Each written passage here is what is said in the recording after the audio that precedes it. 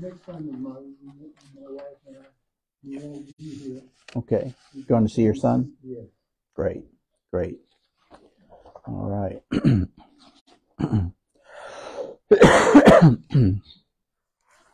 well, as you know, we're studying in First John in the second half of the first chapter, and we've been uh, started looking last week at uh, um, one of the tests of salvation, uh, which we could simply call the sin test. Uh, we've seen in the first half of the first chapter, what you could call the Christ test, that Jesus is who he said he was, that he is real, he was manifest in the flesh. And now we're looking at the sin test, and just to read uh, the last verses of uh, chapter 1 of First John, beginning at verse 5, it says, This then is the message which we've heard of him and declare unto you, that God is light, and in him is no darkness at all. If we say that we have fellowship with him and walk in darkness, we lie and do not the truth. But if we walk in the light as he is in the light, we have fellowship one with another. And the blood of Jesus Christ his Son cleanses us from all sin. If we say that we have no sin, we deceive ourselves, and the truth is not in us. If we confess our sins, he is faithful and just to forgive us our sins and to cleanse us from all unrighteousness. We say that we have not sinned, we make him a liar, hmm. and his word is not in us. My little children, these things write unto you that you sin not. we talked about last time about the fact that the world doesn't want to recognize Jesus Christ. Certainly doesn't want to recognize the the exclusivity of Jesus Christ as the one and only Savior. He declared, I am the way, the truth, and the life. No man cometh unto the Father but by me. That's uh, uh, even among those who would say that they admire Christ as a person, as a teacher, as a, uh, a doer of good things. That's something that they can't abide. his declaration that he is the only way to heaven, that if you don't have him, you're not getting in. But that's the truth. That's what he said. if I said I want to go to New York, but I'm not listening to any map, no map's going to tell me what to do. I think I'm going to go south. I'm not getting to New York by going south. I don't care how many times I go around the world, I'm never going to get to New York by going south. People say they want to get to heaven, but they don't want to follow God's instructions regarding it. They ain't going to get there. the world doesn't like the exclusivity of Jesus Christ as the only Savior. and second, the world doesn't want to recognize that it is guilty before God for the violations of His law. In other words, the fact that men and women are sinners. Our society tries to redefine the facts of uh, of mankind, uh, oftentimes in psychological terms. Uh, we'd rather talk about people's psychological deficiencies or we define their problems as a lack of self-esteem uh, or to cast people as victims of society. um, and I'm not saying that those things are not true, but that does not explain the nature of mankind as being sinners. it's not a matter of deprivation or a lack of self-esteem. We've got way, way, way too much self-esteem. um, so that's not the problem, but the world will try to define it as anything other than sin. and so that becomes a test of who's a true believer. they not only have the uh, right view of Christ, but they have the right view of sin, and particularly of themselves as being a sinner. and uh, the tendency of uh, of unsaved mankind, and unfortunately, even the tendency of saved people, is to try to cover it up.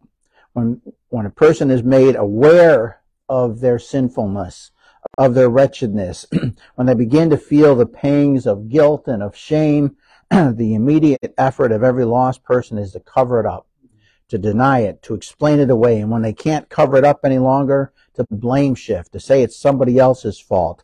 Anything but confessing it as sin. but Proverbs 28:13 tells us, "He that covereth his sins shall not prosper, but whoso confesseth and forsaketh them shall have mercy. so as long as you'll not acknowledge your sin, as long as you would redefine uh, your behavior psychologically or socially, uh, you will not prosper, meaning that you will not prosper before God. You won't have the favor of God. When you confess your sin, when you forsake your sin, then God grants mercy. That's why prior to salvation, somebody must confess and repent. there is no salvation without it. and so, as we saw last time, God has built into mankind a device that we call the conscience, which the Bible tells us is a great gift from God. It is the work of God in the hearts of men. In Romans chapter 2, it says, For when the Gentiles, which have not the law, do by nature the things contained in the law, these having not the law are law unto themselves, which show the work of the law written in their hearts, their conscience also bearing witness, and their thoughts, the meanwhile accusing or else excusing one another. so God has given mankind this wonderful gift of conscience, uh, of something to sting them when they're going the wrong way, when they're doing the wrong thing. And last time we looked at uh, in Mark chapter 14 at the story of of Peter and his denial of Christ. Uh, we saw that Christ told Peter, before the cock crows twice, you're going to deny me three times. And it was pertinent that Jesus told him before the cock crows twice, because we saw that after Peter's first denial, in verse uh, 68 of uh, Mark 14, it says, And he went out into the porch, and the cock crew. He heard the first crowing of the rooster after his first denial. That was God's, God's alarm bell going off saying, remember what Jesus told you. Remember that he warned you. He told you that you're going to deny him three times before the cock crows twice and you just heard the first cock crow and you've already denied him once, it's time to run. It's time to get out of there. It's time to repent. It's time to turn around. And God in his graciousness to us gives us these alarm bells in our life. um, it can come in sermons. It can come in uh, Christian music. It can come in the words of admonition uh, from a, a, friend where God is trying to reach out to us when we're starting to drift away and say, wake up. It's time to turn and run from what you're doing. and the conscience is one of those things that God gives us. it is the gift from God to tell us when we're going the wrong way. but the person who covers his sin in this life is bringing upon themselves a severe and a painful burden, and they're not going to prosper covering their sin. and in fact, the person who covers his sin in this life, it gets worse because they're going to have it uncovered in the next life. There's going to be a day for all who cover their sin. Jesus himself spoke of it in uh, Luke chapter 12, verses 1 to 3. It says, he began to say unto his disciples, first of all, Beware ye the leaven of the Pharisees, which is hypocrisy. For there is nothing covered that shall not be revealed, neither hid that shall not be known. Therefore, whatsoever ye have spoken in darkness shall be heard in the light, and that which ye have spoken in the ear in closets, quote unquote, backroom deals, shall be proclaimed upon the housetops. He's plain, plainly saying here that the leaven of the Pharisees, and leaven, which is yeast, it was a metaphor often employed by Jesus, a metaphor for sin. And he's saying the, the, the leaven of the Pharisees, the sin, the, the outstanding sin of the, of the Pharisees was hypocrisy. Now that Greek word is hypokrisis, and it refers to the acting of a stage player. He, he was saying the Pharisees are actors. They're pretenders. They're pretending to be God's men, but they are not. And he warned his disciples about hypocrisy of pretending to be something that you're not. Jesus said nothing is covered up that's not going to be revealed. Nothing is hidden that's not going to be known. Whether you have said it in the dark, it's going to be heard in the light. If you whispered it in private, if it was part of a backroom deal, if it's going to be one day proclaimed on the housetops. What an amazing statement. know, I've said for many years, no one ever actually gets away with anything. Nobody gets away with anything. The art of the cover up, the idea of getting away with something, is a fundamental part of our human fallen nature. And it is one of the biggest lies the devil has ever convinced us of. our whole society has fallen for that non-existent hope. Do you look at our government sometimes and wonder how much wrongdoing, how much evil our leaders are hoping to get away with? Well, they're not going to get away with any of it eventually. Even if it doesn't come out in this life, it's going to be exposed. Do you look at the injustices and the perversions of our quote unquote justice system and wonder how much do prosecutors and ju- judges and lawyers and even defendants try to cover up and hope to get away with. well, they will not get away with any of it. In the last week, I don't, I don't think I've shared this with any of you yet. the last week of October of last year, 2022, I got a phone call from Richard McLeese. Richard McLeese is the attorney who represented me in my trial back in 2008. and I had not heard from Richard in a very long time, so I was very surprised to get a phone call from him. he called me and he asked me if I wanted him to appear in court for me the following week for a status hearing that had been scheduled in my case. A case that ended in 2008. so I had no idea what he was talking about. And he explained to me that Judge Norgle, who is the judge for my trial, who I believe had been completely biased against me and my co-defendants, and had, in my opinion, completely twisted justice against me. And frankly, our attorneys believed it too because they pointed out and cataloged numerous examples of Norgle's bias when we filed our first appeal. but Richard told me that Judge Norgle had finally retired at 85 years of age. yeah, yeah, he stayed on the bench until he was 85. I wish I could say that's horribly unusual. it, it's not really. I've heard people talk about it before. They believe that it's the love of the power that they have on that position that they just can't give it up until they just can't do it anymore. so Judge Norgle had finally retired at 85 years old at the beginning of October of last year.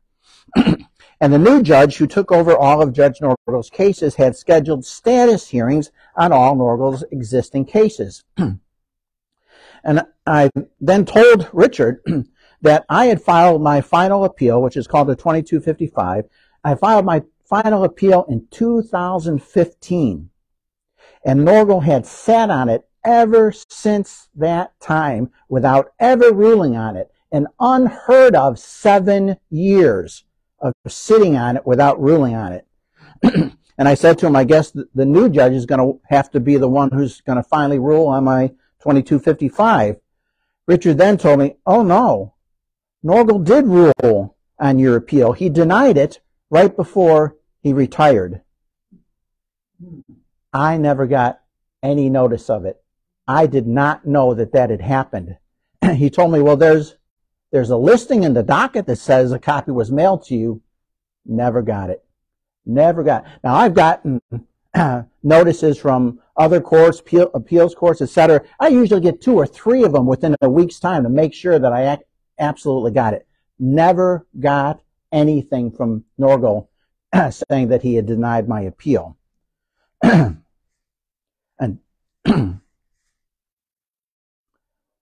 what that resulted in is that the time would run out for me to appeal it to the Seventh Circuit Court of Appeals. that I wouldn't be able to ask for a rehearing before I ever found out about the denial. So my appeals are now totally expired. It's over. for as long as it exists, the U.S. government will count me as a felon with all the notoriety and the suspicions that go along with that label. But folks, Hebrews chapter 7, verse number 16 speaks of the power of an endless life, which is what God granted to me when he gave me eternal life. So I know that long after the U.S. government has vanished, I will still be here. Amen. Their designation, along with them, will end. My life is eternal. now, there's no way for me to take the time to catalog for you all the things that we, we learned about how justice was perverted in my case and then covered over by the courts. And that's not even the point I'm trying to make. The point I'm trying to make is I really think that the people responsible believe that they have gotten away with it. the, the main issue of, of my appeal was put before the courts five different times. And every single time, the court simply ignored it, like I hadn't even said it. They hadn't even addressed it. They didn't. they didn't say no, you're wrong, or do an analysis and come to a. Con- they ignored it until there was nowhere left for me to go. and I think that they think that they got away with it. Mm-hmm. But the story's not over yet. Jesus said, You never said anything anywhere. You've never done anything anywhere. You've never cut a, a backroom deal anywhere. You've never made a conspiracy anywhere. You've never tried to cover up anything that's not going to be uncovered. In fact, there's a full record of every unsaved person's sinful life written down by God in what the book of Revelation calls books which keep an accurate record, an infallible record, an unrelenting record, and a record in which there's not a single omission of sin. And on the basis of that record comes down one day the just and the righteous sentence from God at what the Bible refers to, the great white throne judgment that catapults an unrepentant sinner into eternal hell. Folks, God sees absolutely everything. Amen. Take a look at Ezekiel, the Old Testament book of Ezekiel in chapter 8. Ezekiel chapter 8. This awesome experience that Ezekiel had that demonstrates the depth of God's insight into everything that every person does. Ezekiel 8, beginning at verse number 1, says, and it, and it came to pass in the sixth year, in the sixth month, and the fifth day of the month, as I sat in mine house, and the elders of Judah sat before me, that the hand of the Lord God fell upon me. then I beheld, and lo, a likeness as the appearance of fire, from the appearance of his loins even downward fire, and from the from his loins even upward as the appearance of brightness as the color of amber. And he put forth the form of a hand, and took me by a lock of mine head. And the Spirit lifted me up between the earth and the heaven, and brought me in the visions of God to Jerusalem, to the door of the inner gate, that's the temple in Jerusalem, that looketh toward the north. So he was at the north gate. Where was the seat of the image of jealousy, which provoketh to jealousy? So here we see Ezekiel is taken in a vision by the hand of this angelic creature to Jerusalem, to the temple, which now has an idol sitting at its north gate, which is which provokes God to jealousy that his temple is now the home of an idol. And that tells you just how far the nation of Israel and its religious leadership had fallen at this time. but it gets worse. Look at verse 7. And he brought me to the door of the court. This is within the temple. and when I looked, behold, a hole in the wall. Then said he unto me, Son of man, dig now in the wall. And when I had digged in the wall, behold, a door. And he said unto me, Go in, and behold the wicked abominations that they do here. So I went in and saw, and behold, every form of creeping things and abominable beasts, and all the idols of the house of Israel portrayed upon the walls round about. And there stood before them seventy men of the ancients of the house of Israel. These are the elders of the house of Israel. And in the midst of them stood Jaazaniah, the son of Shaphan, with every man his censer in his hand. It's an incense censer, and a thick cloud of incense went up, representing prayers to these idols. Then said he unto me, Son of man, hast thou seen what the ancients of the house of Israel do in the dark? Every man in the chambers of his imagery. For they say, The Lord seeth us not, the Lord hath forsaken the earth. In this vision, God shows Ezekiel the very thoughts of the elders of Israel. That phrase, the chambers of their imagery, that's talking about what's in their head, what's in their imaginations.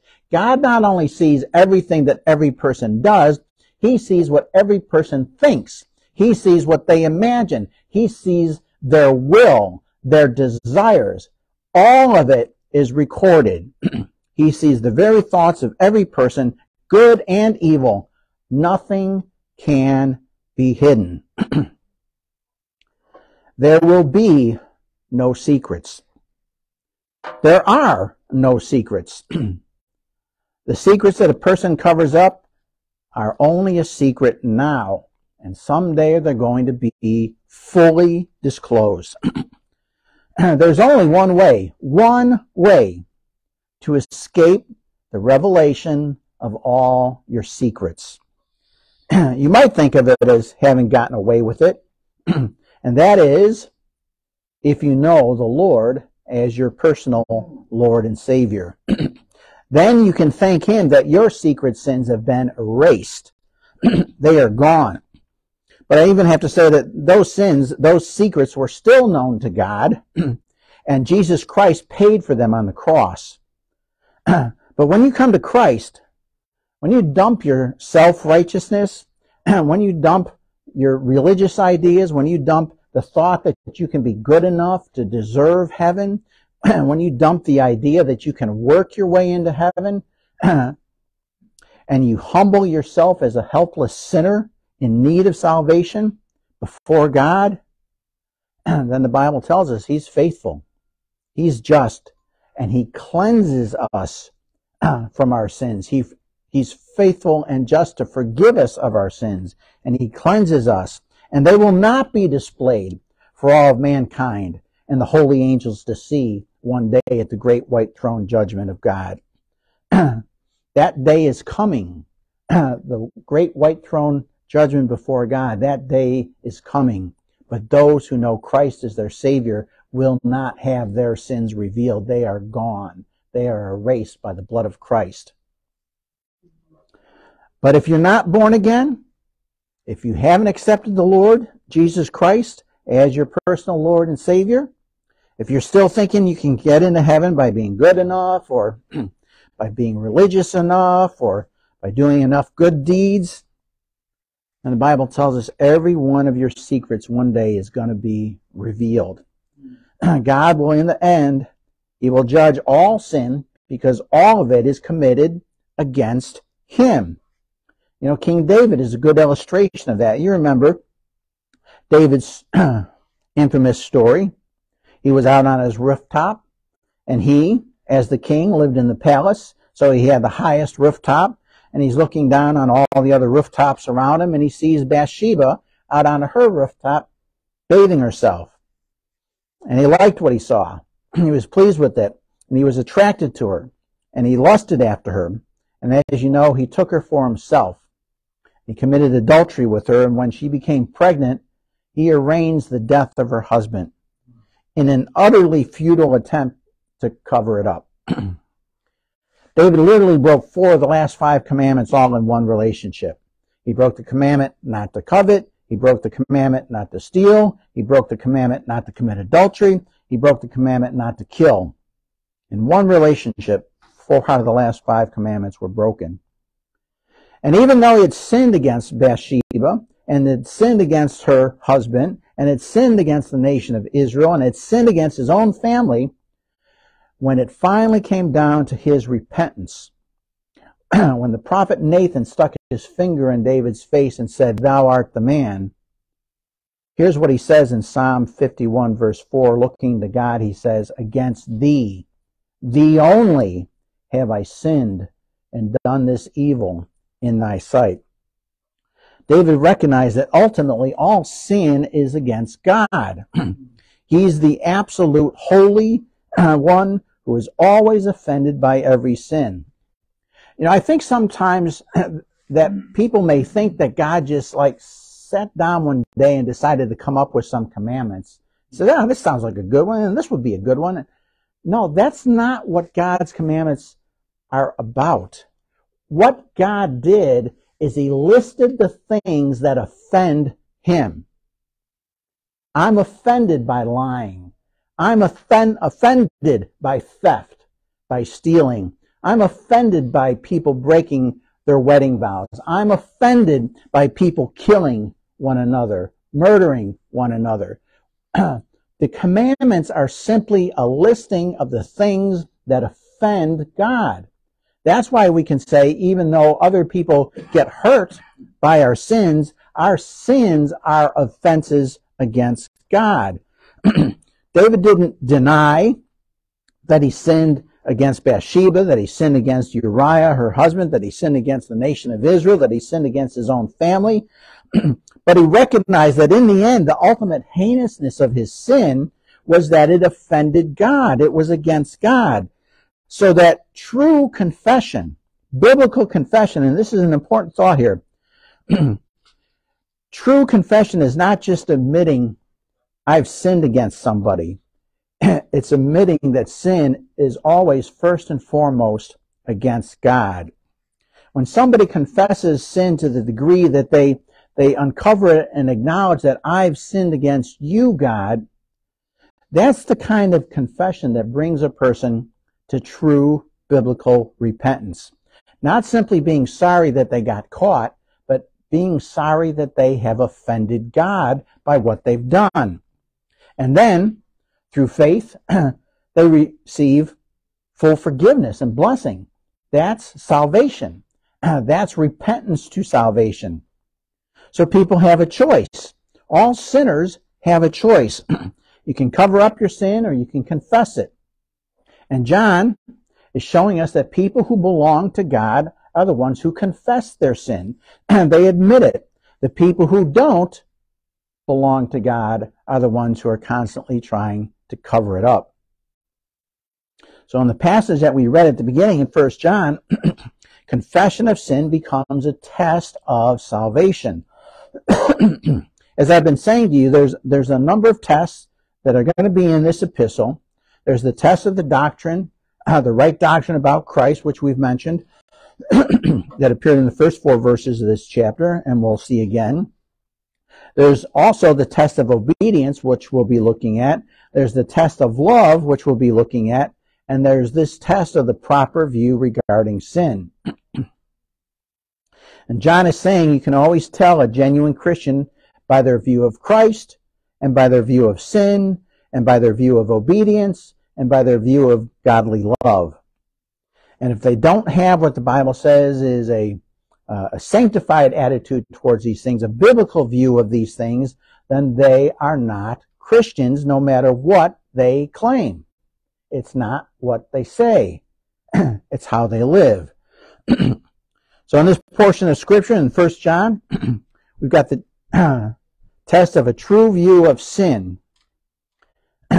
And again, I don't want to go into a lot of background because we've talked about it numerous times, but, but John is teaching this against the backdrop of false teachers that are creeping into the church. they've denied the true doctrine of Christ, and they've also denied in one way or, or another, or perhaps several, uh, they've denied their own sin.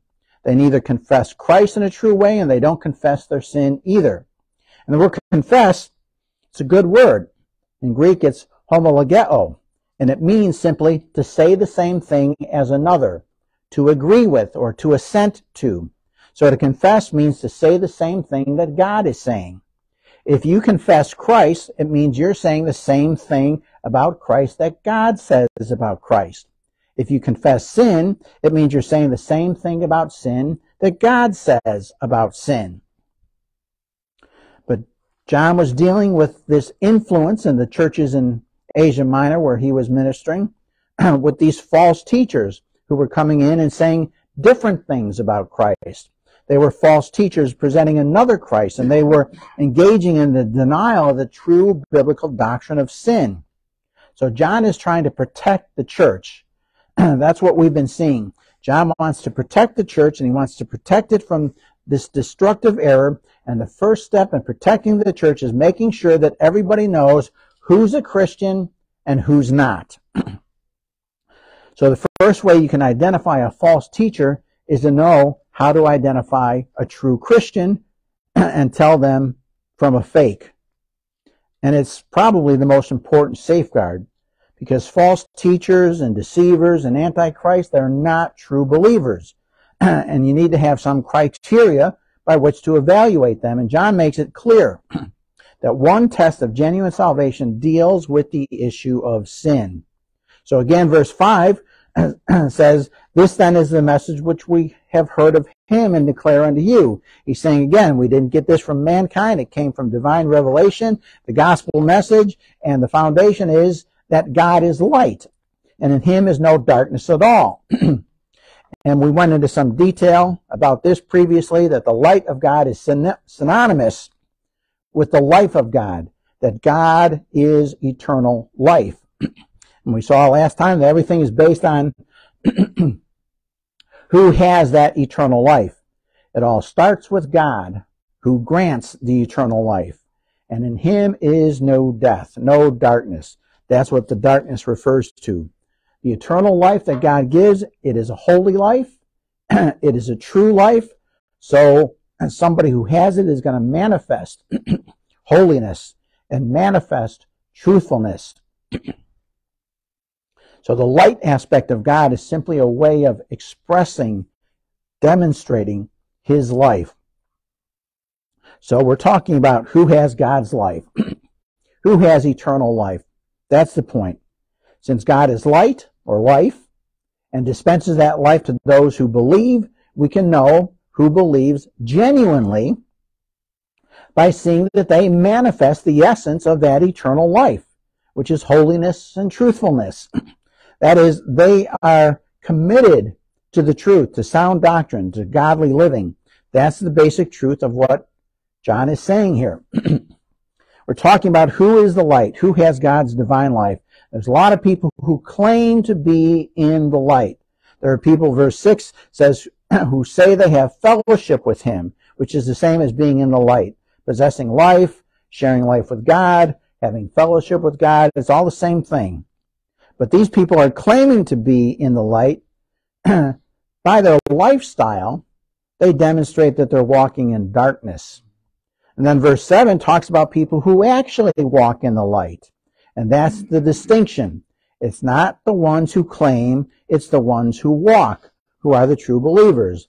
Like we've said, your talk talks and your walk talks, but your walk talks more than your talk talks.